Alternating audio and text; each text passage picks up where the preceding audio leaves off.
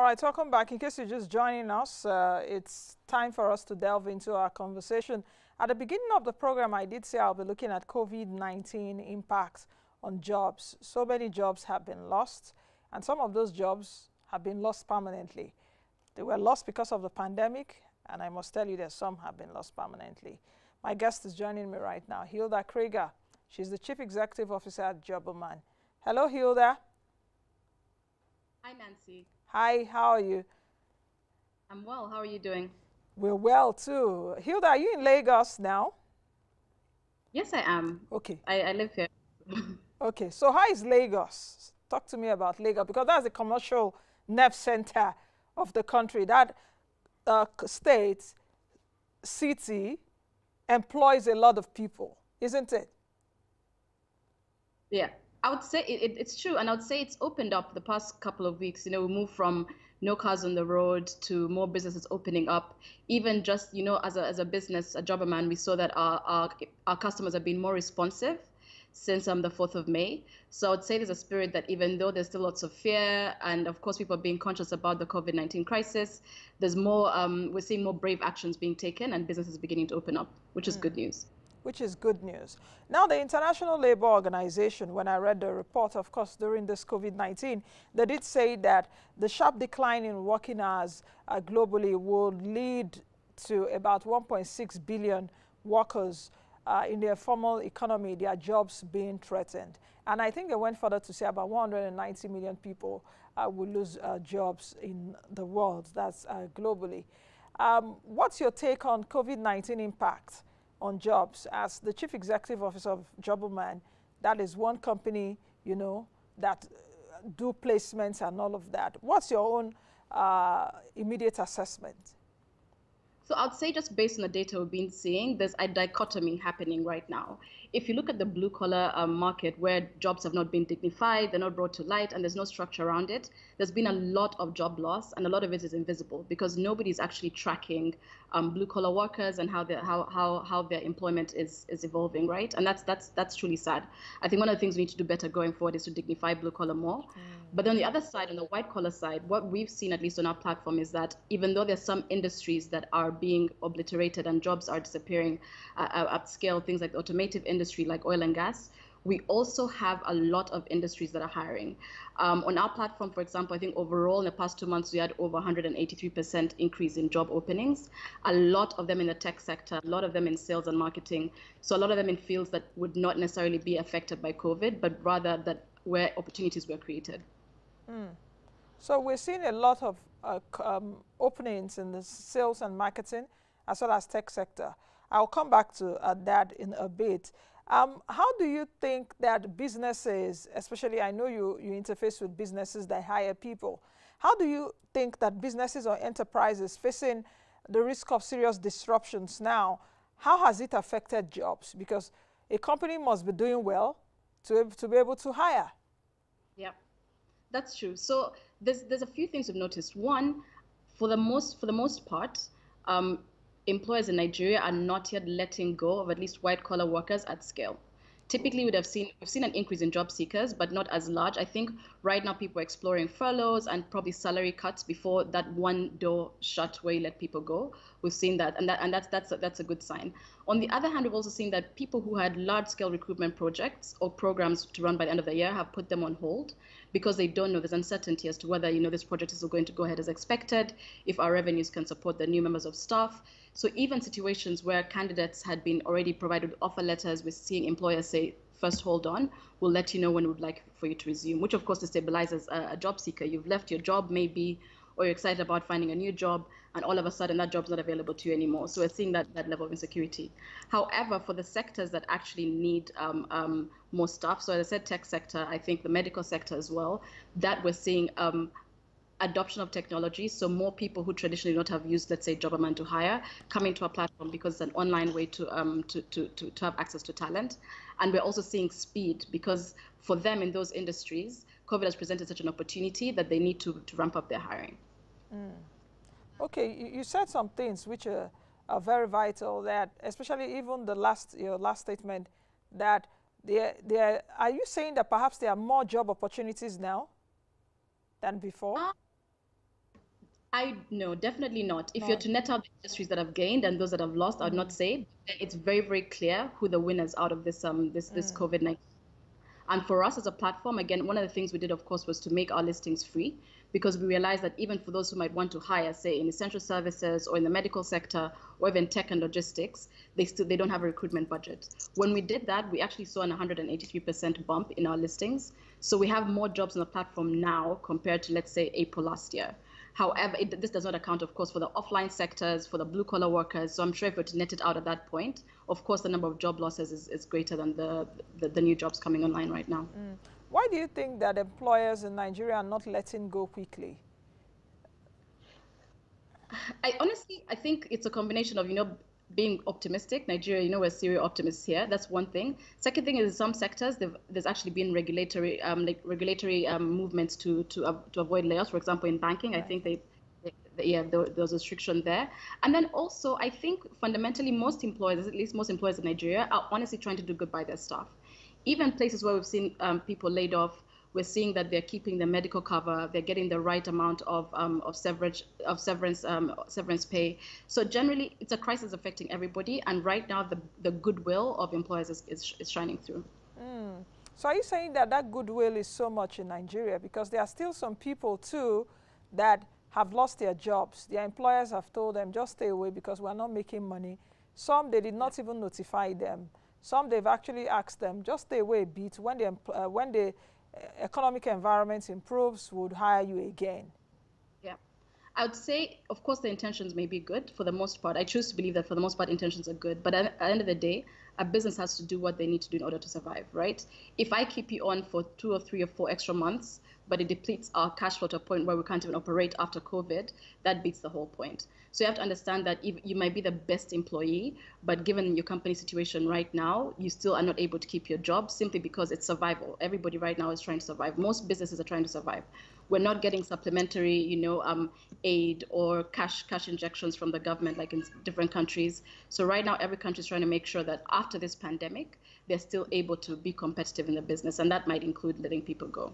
Now, from your last point, uh, we know what is happening globally. Governments are also supporting businesses. Here in Nigeria is also the same uh, because the central bank, for example, through the NIRSAL Microfinance Bank, has the 50 billion naira uh, to support MSMEs. And you will agree with me that we have a lot of MSMEs in Nigeria. Micro enterprises are that that provide about 84% of jobs and 96% employment. 41.5 41.5 million micro enterprises out of the 41.6 million businesses we have. So uh, I guess that Jobberman is dealing with perhaps 100,000 left of the medium and the big businesses. no. deal with everybody from businesses with five people to 10 people. Oh, really? So, so if I want to hire someone now, I, you, you, you can get me a platform to hire someone. Exactly. And by the way, it would be completely free. Okay. So especially for a small business, like Jobberman has has we we spent a lot of time innovating for products that that are not that are affordable enough for small businesses. So everybody can recruit on Jobberman right now. Okay. Okay. So where I was going to actually is the assistance for businesses, like we've seen in other countries. There's a 50 billion naira targeted credit facility for households and small businesses. Small businesses, I think, can access up to 5 million. There is also there are also other intervention programs across the medical, pharmaceuticals, hospitals, and all of that. There's a hundred billion uh, naira facility for that. How do you think that all this can really impact the job market? Perhaps those businesses that have laid off workers can rehire them again, or ask them to come back or hire new staff. Yeah. I think a number of ways. Of, of course, definitely, you, if you don't have to, to do layoffs, you won't do layoffs if you can even hire more, well and good, so your projects can go on and you know economic activity is stimulated that way. But even more importantly, for some businesses, it could be the kind of um, stimulus that helps you support remote work, right? It's going to be a while before we can move freely, before we can all be in the office freely. And in the meantime, small businesses need help um, to, to navigate this remote If we think about, for example, um, our infrastructure, power is, is, is, is, is not the best here. Data is expensive. If you want your staff to work safely in a remote environment, you kind of have to facilitate these, these aspects of it. And such interventions for government would help small businesses, give them the, the capital or at least um, the means to do this and support their staff.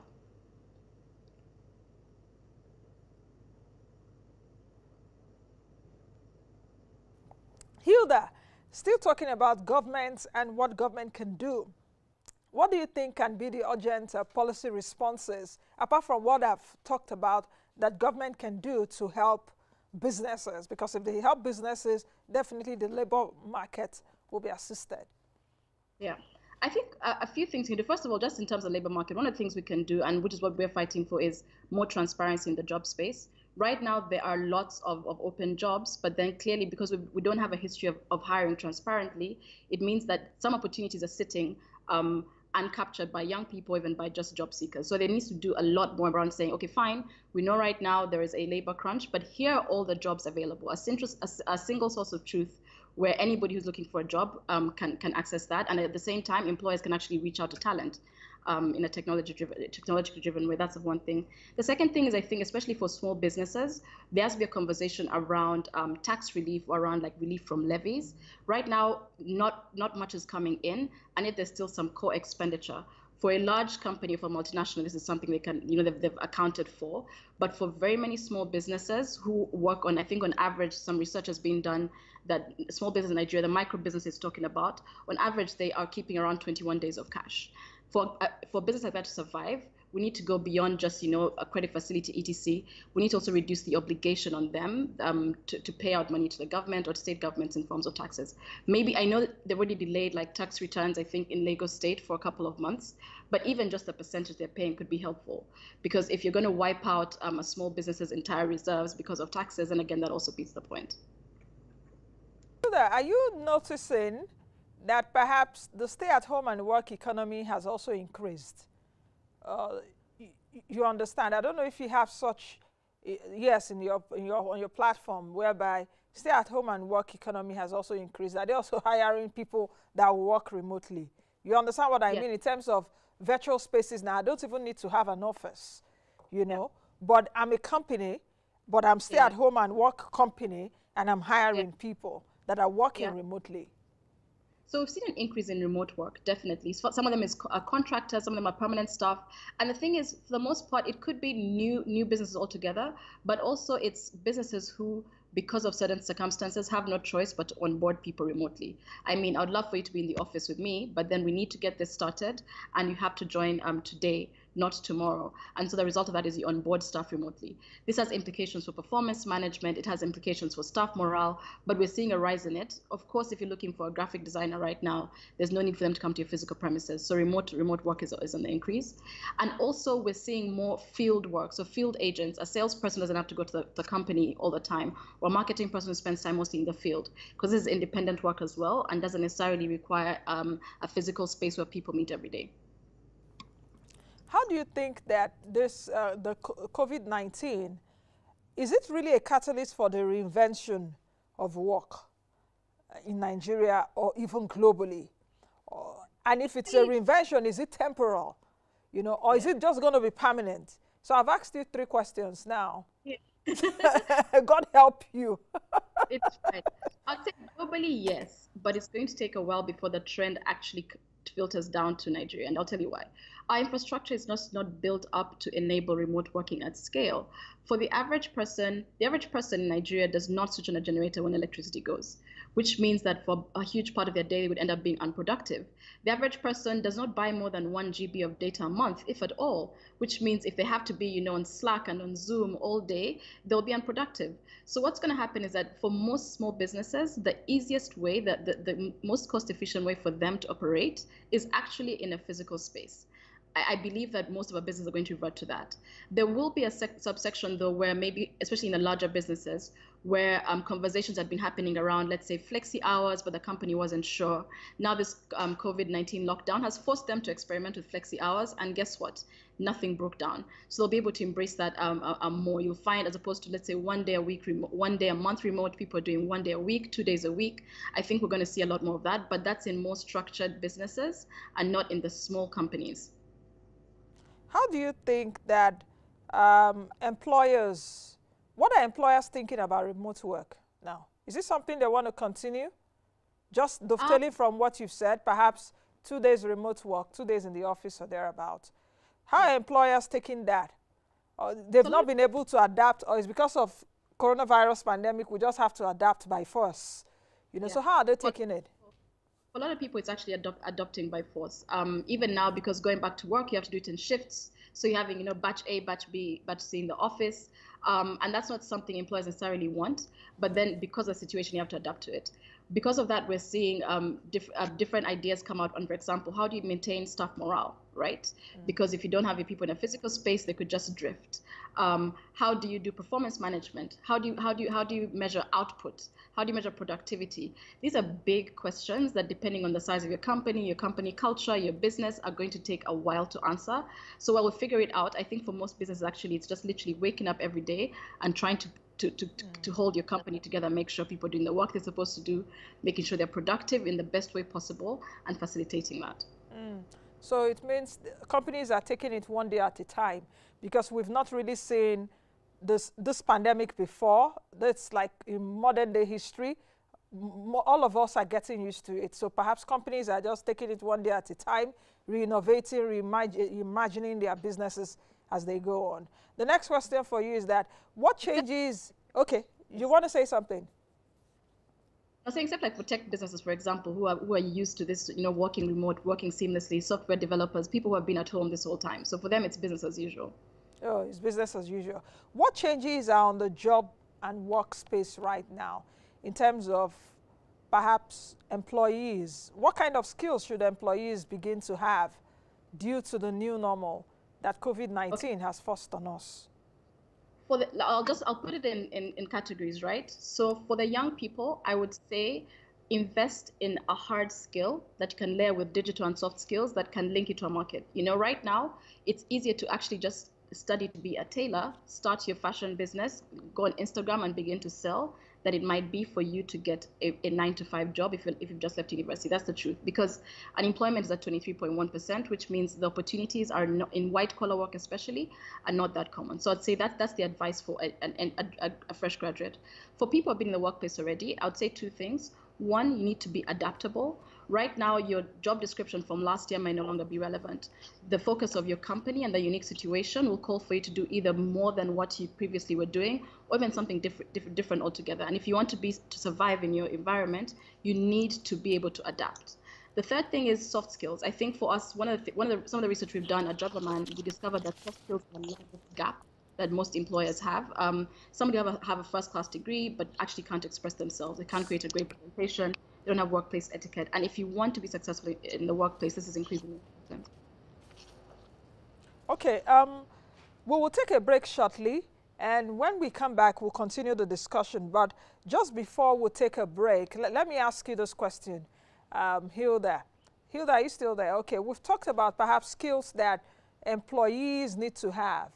Are there things that you're also seeing from management and leadership that is changing? Due to COVID-19 pandemic, you know, uh, things or, you know, strategies that are changing, uh, management strategies changing that will definitely impact hiring of employees. Oh, definitely. Should I answer that now after the Yes, break? yes. Answer right now. So I would say, of course, we're seeing change patterns. One, there's a lot more empathy because not everybody's situation is the same. You know, your staff are working at home with their children, with their parents. You have to actually empathize with the situation. Um, this means the way you manage them is going to be different. We're seeing a move away from the micromanagement style where you want to know what everybody's doing every given minute to a more output driven style where you say, if we agree that you're going to uh, submit this deliverable by 4 p.m. today, I want to count on you to do it. Um, this means that as managers hire, increasingly they are going to look for people who are self starters, who can self supervise and self manage, and who are reliable. Because if, if, I, if I can't see you, if I'm not there to ensure you're going to do what you have to do, I need to trust that you're going to do it to a certain um, ability. Mm. Okay. Hilda, let's quickly take a break. When we come back, we'll continue our conversation on COVID 19 and jobs uh, if you have your questions, please do send them now. Buzz me right now on Twitter at Nancy Ilo. You can also send us a message or your question at uh, Moneyline TV on Twitter. You can go to Facebook Moneyline TV. You can find us on all our social media platforms. Send us your questions and your comments right now so that Hilda can, can answer. Let's quickly take this break. We'll be right back. The latest GDP report, um, the service growth, um, the growth of the um, information and telecom sector um, went down from 10% last quarter to 9% growth rate last quarter. And that's one of the biggest growth drivers um, in our economy. So supporting those sectors and making sure that as soon as, you know, um, the world opens up again after the pandemic, we are able to react quickly and um, basically capitalize on some opportunities that are available, uh, that will be available after the pandemic. Uh, so I don't think it's the time to slash budgets. And I do think it's time to borrow, but I think first of all, we should be borrowing wisely and trying to get the best interest rates we can. And second of all, we should be deploying those funds wisely, not using them to like defend defend the naira from devaluation, not using them to um, support fuel subsidies, but actually using them in ways that will actually grow the economy uh, or prevent important, crucial, critical sectors from collapsing.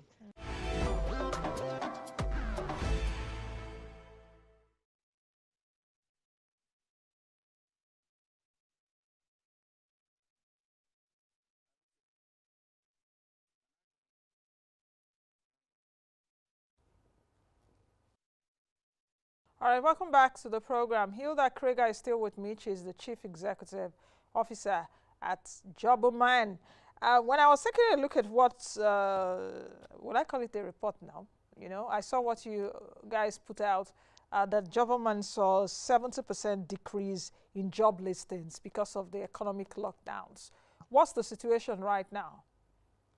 So initially we saw a 70% decrease. I think the first week of lockdown, we, we, we literally everything just plummeted. And I think that's because initially there was that shock, you know, business literally ground to a halt.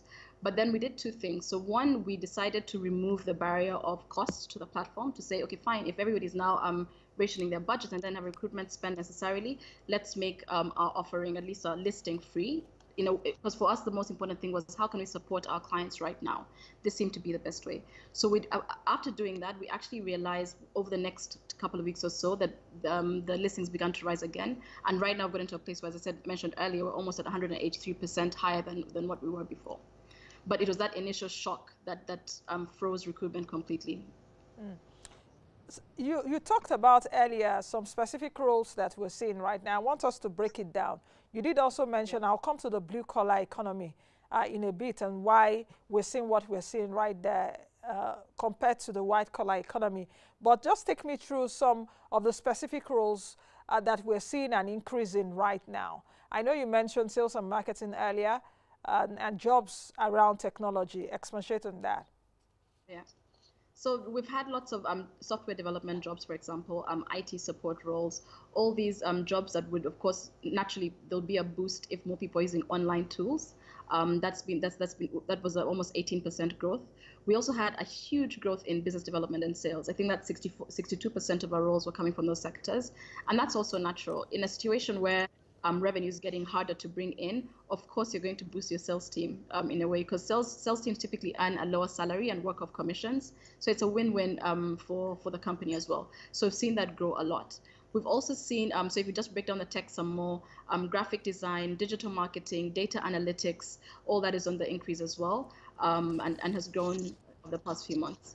Does that mean that um, these sectors which you've mentioned now, are they where job opportunities are right now in this new normal? So for someone watching us right now, should they go acquire skills in that area because that's what the new normal is forcing on the economy right now? Or should they just wait wait on this pandemic that it will go in the next like one, two, three years and we're back again to normal? But how would the person even survive though? So the thing is, I don't think that this is necessarily the jobs the new normal because th- this is still almost crisis mode, right? We can't say we are post-COVID pandemic yet. Mm. The jobs are right now in a time of crisis where not many people are spending money or, or not many people are recruiting. These are roles people. However, I think about the new normal, which is going to be life post the lockdown. I think a lot of opportunity lies in technology. A lot of opportunity lies in the ability to connect offline hard skills to online marketplaces. Um, hence my my my my um, example earlier about people in the creative sector. You know, um, that's where opportunity lies. If unless you're really passionate about these areas, don't go changing your life plans and investing a lot in them because this these are crisis jobs. These are crisis jobs. Even if we're to look, you know, in August this year, I can almost guarantee that this profile will have changed. Even without COVID-19, typically in Nigeria, we find that different jobs are booming at different times. The recruitment cycle for almost every single industry. So it, it's not the best um, way to judge it, to judge these jobs, crisis jobs, if I can call them that, as um, what's going to be happening a year, two years, or three years from now. Mm. Do you think that as a country we've been able to um, decipher the scope of this pandemic? Because as a country we're struggling with 23.1% unemployment rate, a 40%, 40.1% poverty rate with about 82.9 million poor people, according to the NBS, excluding Borno State. I always like saying that because Borno is not part of that survey. So do you think that we've been able to understand the scope of this pandemic and what the impact will be on the employment, unemployment rate, which is at 23.1% for, for young people now. So will it impact it more uh, short to medium so term? I don't think we've even gotten to you know half, the half of it, and I don't think any country in the world has, right? So everybody's trying to figure this out at the same time. If you think about it this way, we are um, the summer, summer is almost here, so the end of the school year, we're receiving another wave of thousands and thousands mm. of they're graduating to a market with no jobs with barely any jobs. So on top of the, the job losses that happen in the experienced market, um, in, in, the experienced employed labor market, there's fresh graduates coming in, and there's fresh graduates who you know had still hadn't gotten jobs. We find that on average, you know, it, some people it takes them almost a year, sometimes two years to find a job post graduation. So already have a backlog when it comes to job creation in the country. This COVID-19 crisis is only going to make that worse. Mm. I don't think we've seen the half of it yet. Now, the, the, the question also, what, do you think that sufficiency of competence is also um, an inhibition because a lot of people also say you are, you are the chief executive officer of a job listing company, Jobberman for crying out loud. So you should be able to tell me this. What problem do we have? Do we have many jobs but fewer people, yeah, you know where I'm going, but fewer people to fill that space because they do not have those competencies. So tell me now, let me hear it here, because I always hear it all the time, that, oh, there are many jobs, but Nigerian graduates are unemployable. Or, uh, you know, we have literates, we have so many people that have the skills, but no jobs. So which one is it? So I'd say I, I, I, get this question a lot, and I really don't like it, but I have a, I have a, I have a standard answer for it. Here's the thing for people, especially young people, to have access to dignified livelihoods or work, three things have to happen together. One, we need to have strong and relevant education and training systems that can get people ready for work. Two, we need to have democratic access to jobs so that everybody can see what opportunities are out there and you know the best person can get the best role, can get the right role. Three, we need strong private and public sector markets that are actually creating opportunities for these people and creating the jobs or going to even inter facilitating entrepreneurship opportunities. In Nigeria today, there's there's leakage, it's broken. All those three, there's something broken along all those three aspects. Our education system is not, you know, top best in the world necessarily. We see lots of graduates that graduate, you're a first class degree holder, you can't even write a CV. That's the, that's just a fact. Two, we don't have democratic access. Less than 30% of jobs in Nigeria today are filled transparently. Mostly, there's lots of nepotism happening. There's lots of, you know, um, hiring my friend's son because at least I know I know he needs a job and things like that. So the best person doesn't get the best job, which means you could be smart, but if you're not doing the right job, you won't be as productive in the workplace, and people might call you unemployable. Then third, of course, is a strong public and private sector markets. And given that, you know, um, our, our rate of, of our population growth rate has been growing higher than the um, than GDP growth rate, of course there's going to be an issue on the job creation side. So it's not fair to, to address Nigerians as unemployable when there are challenges across all these things. What we need to do is to come together and say, okay, how do we fix each of these three elements? Um, and I'll give an example. For example, with Jobberman, on the training, we've decided that we're going to invest in soft skills. We have a soft skills curriculum that's free for everybody to take up because you know it's a huge gap. We can't do all the technical training and we can't change curriculums, but that's something we can do. On democratic access, that's literally how our platform is built. We are a marketplace that links the best talent to the best employers. And we try to make sure jobs, we've got a database of 2.5 million job seekers and 60,000 employers. We try to make sure jobs go out as far and as wide as possible. And then, of course, on the employer side, on the, on the public and private sector market side, we're constantly engaging with employers, creating innovative products for them and saying, guys, recruiting transparently is the is the way to go. And wherever there are jobs we need to make sure that as many people have access to them as possible. But again until those three aspects are completely fixed we really shouldn't be calling people unemployable. Mm. i think i think you just recently put that because the processes are already broken. What what what challenges do employers tell you they face especially from those they hire from you? Over time I think the, the most common one we saw again was this around soft skills was a big one. The second thing was something around just workplace readiness. So you know, the, if and, and I won't blame. If I think about it, there are very few universities in Nigeria that have career services, which means people are going to university, are going to higher education institutions, but not getting the career guidance it takes to help you transition from school life or from educational system to the workplace system. And we get that feedback a lot that these young graduates, they're not ready for work. Either they, it could be dress code, it could be attitude, it could be so many other soft things that because there's, there's a gap when it comes to career guidance as you come up through the system, you get to the workplace and you're shocked, your employer is also shocked.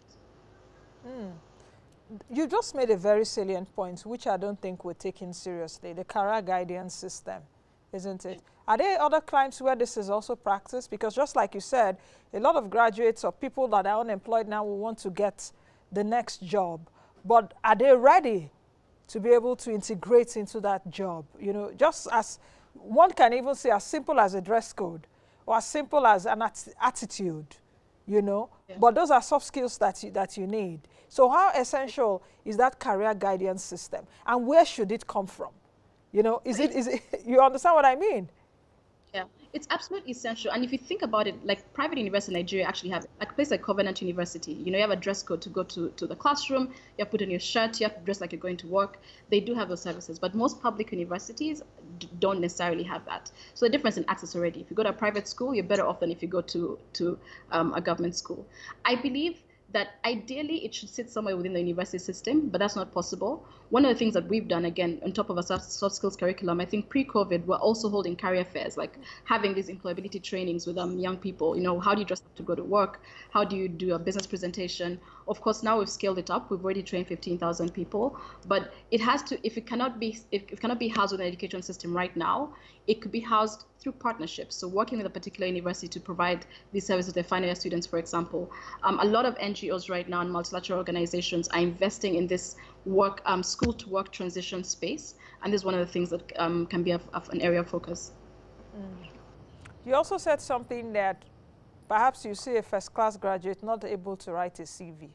I've seen that a yeah. couple of times. And, you know, when I see it, I'm like, what, why, why is it like that? But you've actually did mention the challenges across those three areas, uh, talking about education, uh, the democratic access to jobs, and the role of the private and, and, and public uh, system.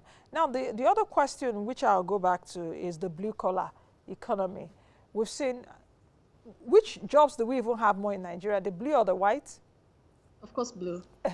blue. In most economies, it's blue, pretty much in all, every economy. So, so why are we seeing that deficiency here in Nigeria around that blue collar economy. You know, because just so like from, okay, go ahead. Of it is the fact that in Nigeria and in most African countries, blue collar work has not been dignified. Mm. Everybody who wants their child to be a doctor, a lawyer, an engineer, nobody wants them to be an AC technician or a cleaner or a nanny. And here's the thing if you go to countries where blue collar work has been structured and dignified, it's actually very expensive. If you want to get a plumber in London, they're going to charge you by the hour and by the time your job is done you'll have paid them almost half your salary. Because that's that that's how structured the blue collar industry has has has has has, has become in in, in such areas right? In our case because of this mindset, everybody underlooks blue collar work, and yet they're completely essential. They're completely essential, and they're a way to earn a good living. If you speak to somebody who has a good career as an AC technician, they could be making more money than an entry level, um, you know, HR associate in, in some cases. There's a lot of potential when you think about the carpentry industry, you think about um, the clothing industry, the food and agriculture industry, um, and a lot of all these other blue collar roles as well, right? There's a lot of potential there, but we need to work on the mindsets first. The fact that not everybody in Nigeria is going to be a doctor, a lawyer, an engineer, an accountant. You might end up being a plumber, and that's okay. This is how you can define your career path. This is how you move from an entry level plumber or to, from an apprentice to having a team that works with you to building a business out of it. We need to be able to meet um, uh, uh, blue collar workers at that point of need and help them structure that out as well. If we've got those that structure and those protections in place, then one, it's easier to command a higher value for their work, and two, in situations like this where there's a crisis, it's actually much much easier to track how just the number of job losses and what we can do to also intervene in the blue collar market. Mm. Who, who should bring that change? Because I like what you said in terms of we should also dignify blue collar job. Uh, you go abroad, you see those in blue collar, they, they earn, and it doesn't matter. They would start from uh, their young age and they'll go on like that. They train their children, they are riding nice cars and all of that. But here in Nigeria, uh, we look at them as menial jobs. So whose responsibility is that uh, to change that mindset, to change the system, to give it a kind of structure for the blue economy to uh, transition from what we're seeing it right now. To say it's okay if you are a plumber, it's okay for you to be a carpenter, and you shouldn't be looked down on. That if you're a carpenter, or even if you're a cleaner, you're a roadside sweeper, you can still yeah. train your children, you ride the best of cars. So how do we get to that level? Whose responsibility is that? So I think there's a policy responsibility which would come like from um, from government, of course, right? Um, there's something around like maybe this is for NGOs, which is around mindsets, educating parents, especially because sometimes you might want to be a tailor and your mom says no, I want a doctor. So there's that there's that uh, mindset mindset mindset um, shifting which has happened both for the parents and the children. Um, and then finally, of course, there is something around, which is a partnership between people like Jobberman, for example, and the government, which would verify these um, workers. One of the biggest risks around blue collar is the fact that people say, I don't know who's coming to my house, you know? So if we had a system that could actually verify and say, this is this person is who they are, they were trained in this, let's say, technical institution, and you kind of have like a bio about them and it creates comfort or like a sense of trust, that would be a, a, first step. So there's still roles for every person to play. The government, the private sector, us who would use those blue collar workers as well, you know, individuals, um, and then platforms that could still increase access to jobs and disseminate blue collar jobs to the workers as well. You can imagine. Course, okay, go yeah. ahead it would require different thinking. If you want to do blue collar, for example, which is something we've been thinking about, it's not going to be online. Most likely it's going to be USSD. Best case scenario, it's WhatsApp because lots of blue collar work workers won't be as sophisticated or have sophisticated tools to let them um, access heavy websites all the time. So it requires difference in thinking as well. Mm. You can imagine if you if you tell your mom or your dad, Dad, I, I want to be a sophisticated carpenter. Or I want to be like, what? You say what? go to school first or something. you know, I want to be a tailor. Just go to school first. When you finish, you can come back because we've seen a lot of children or a lot of people, uh, you know, they finish studying law, they are singing. You know, yeah. they finish doing this, they're doing that. You know, so so it's it it no, I was going to say a good real life example of what's of dignifying um, blue collar, not blue collar work, but you know, um, that's happening right now is I think a partnership between the Lagos State Employment Trust Fund and the Nanny Academy. You probably haven't heard of them. The Nanny Academy actually takes ladies and trains them in housekeeping and child rearing, you know, how to handle medicines, how to do a balanced diet, everything. And because of that, these nannies are able to attract a lot, um, a premium salary on the market, right? So you find somebody actually making a decision to be a career nanny because they've gotten the right training, they've gotten the right role, they've got career progression, and they're actually earning more money than they would in an office. That's like a small pilot, but imagine if you could scale that across different industries, across different job roles, and just bring that same level of credibility. What would you tell people that have lost their jobs right now because of uh, coronavirus pandemic or are unemployed? What, yeah. what would you I think tell them? All, I'd say don't take it too personally. It's possible you did your best at your job and you, you still lost it, not because of what you did, but because of the situation the employer is in. What you need to do now is, first of all, invest in yourself. So if you've been thinking about learning a particular new skill, if you want to do something in your area, learn it now, now that you've got the time, and then activate your network be clear about what you want to do and then reach out to the kind of people that could help you. It's it might be a long ride because there's not you know this is not like the most um job not not the most conducive market for a job seeker. But if every single day you do once one we take one small step towards your dream job, you'll get there. Reach out to a contact, send your CV in, sign up to Jobberman. There's lots of jobs on the platform. Um, take a soft skills training. You know, ours right now is running and it's free, but then you can do another training. LinkedIn has lots of learning courses as well. The most important thing, one of the biggest things about job loss is the depression it brings. Mm. You're coming from a situation you've been earning and you're self-sustaining, and that's been stolen away from you things like investing in yourself um, academically or learning actually help to um, stimulate that, that depression away. But if you sit down and feel sorry for yourself, it won't be. It, it will make matters worse for you. Mm. What are what are recruitment uh, recruitment did I say that word? Recruitment, okay. Recruitment agencies such as you or, um, um, you know, companies, what are the top three skills they're looking for? When they tell you, yes, there or companies, like, these are the top three things we're looking for. That is, I'm talking about a survey. What are the top three things they're looking for? Is it in terms of educational skills, in terms of perhaps some soft or hard skills? You know, what are, what are they looking for? So I'd say hard skills, I'd say definitely digital skills. You know, everybody needs somebody who can run, who can use a computer, have introductory knowledge of Excel, PowerPoint, the tools. You need to be able to do that. Um, that's the first thing. Soft skills are a big one um, you can't navigate the workplace successfully without soft skills. That's a fact. The third one, which I hate to say, but it's the truth, is experience. A lot of employers just want some experience. Training budgets for most companies are not that large. So even when they're asking for entry level jobs, they're still asking for two years of experience because everybody's looking for something that's slightly pre baked, somebody who knows what to do, as opposed to a fresh graduates. Of course, the larger companies keep hiring fresh graduates, but smaller, smaller businesses expect that even somebody who's just coming in fresh should have an idea what they want to do. So unfortunately, experience is something they're looking for. And if what that means for you as a young job seeker, as a fresh graduate, is find ways to um, boost your CV. You can do if you can afford it, do an unpaid internship, do an apprenticeship, look for you know work projects you can do, um, and just try and get fill out your CV with, with, at least bits of work that you've you've, you've, worked on. I was coming to that uh, for perhaps young graduates or people that are freshly uh, or people that have not do not have experience there are ways by which they can gather experience, just like you said, internship. You know, they can also do volunteer services and all of that and add it to their CV. They can also look for mentors, isn't it, to mentor them? Uh, and even just the way you think about work, right? You find lots of people who say, I don't have work experience. But guess what? Your mom has a shop. You've been keeping her books. You've been doing inventory. You've been actually taking care of the shop, you know? That is work experience. And we have to let young people know that every single piece of work you've done counts you've done if, if you it, because there's skills you've learned. If you've been taking care of your parents shop for example you you, you know bookkeeping that's a solid skill. You know customer management. Um, you know inventory taking those are solid skills but we tend to overlook them because they happen in informal settings.